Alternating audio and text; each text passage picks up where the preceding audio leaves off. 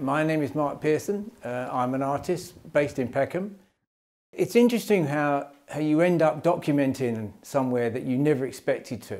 I mean, I started painting Peckham um, a long time ago, um, my, long before I actually sold the work, and I realised only and through people's observation that I was actually documenting the change that's happening, you know, in, in the architecture and the gentrification, and just the different people's coming in. It's something that I, I didn't realise I was doing in such a way, but it, it's now it's really apparent in the work.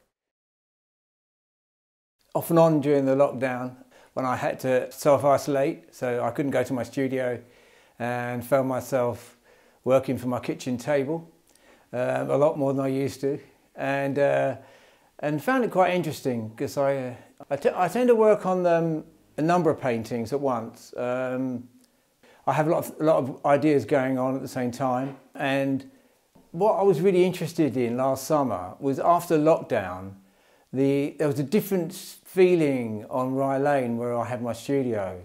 They'd stopped the traffic um, and it had such a different feel. It had a, had a real, it was like a real sort of, um, sort of promenade. And I really liked it. And I did a lot of drawing and painting down there. The shops, I think only half of the shops were, were open. So people were collecting out in front of the shops.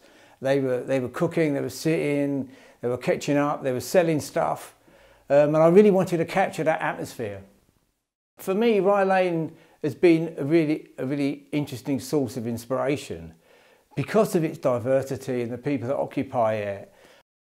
I come out of Rye Lane from, from an alleyway for my studios and it's a, quite a small entrance and I'm always knocked out every time I come out of that entrance because I'm always trying to capture it. And for me, I've never quite scratched the itch, you know? I'm always trying to capture it and there's always more.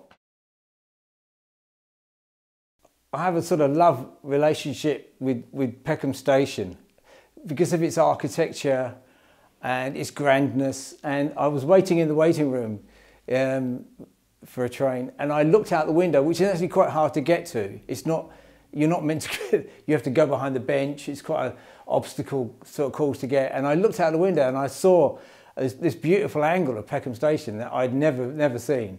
And with the light, which is quite dramatic. So I started to, um, and it was, I started to sketch and, and uh, paint up there. There, there was no one, very few people in, use that, use that small um, waiting room. And it's, it's, it's a winter place, so in the summer, no one was in there. So, and I loved it. It was, and I did quite a bit of work up there this last summer. The open house is over two weekends in May, and I've been doing it um, pretty much constantly uh, for about five years, or maybe a bit longer. Um, I really enjoy it. The last couple of years have been a very different experience for me because well, last year we had no one in. Um, this year there's a possibility that people can come in in very small numbers, but I think what I miss is, is a house full of people talking and chatting and drinking, neighbours in.